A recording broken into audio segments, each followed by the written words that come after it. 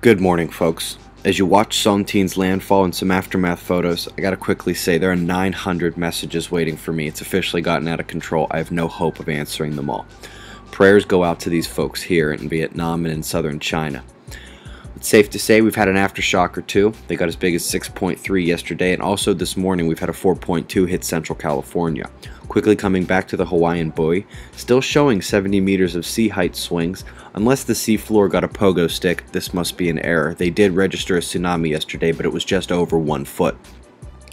Game time on the East Coast.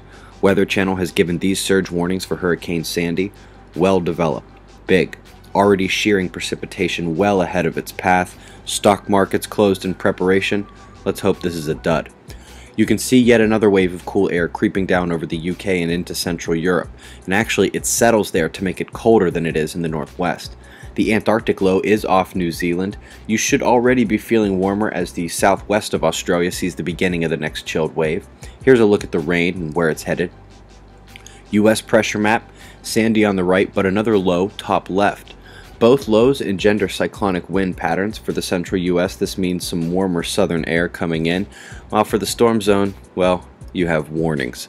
The solar wind indicates that the corona hole of concern the past three days has missed Earth. Good news there. Very calm at the moment, along with the X ray flux, haven't had any major flares in days. Not that the sun hasn't returned to its trickery. The moment this region got out of Earth's view, she unleashed a mid sized but significant coronal mass ejection.